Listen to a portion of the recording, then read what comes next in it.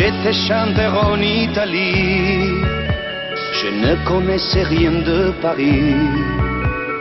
Je suis arrivé à Orly un matin sous la pluie.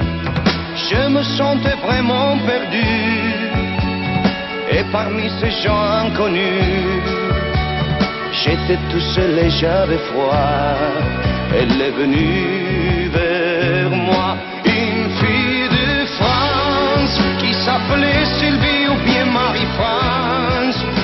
son prénom n'avait pas d'importance. Elle m'a souri et m'a dit bonjour Gianni, bienvenue en France.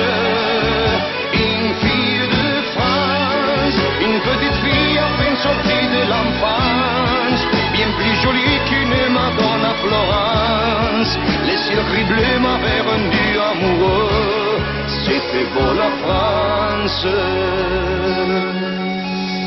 Nous nous sommes longtemps promenés de Montmartre aux Champs-Élysées, dans un café de Saint-Germain.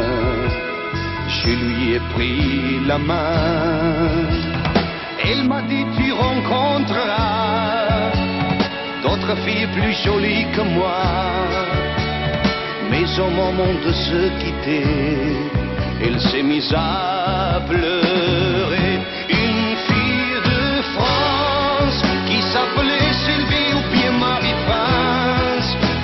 son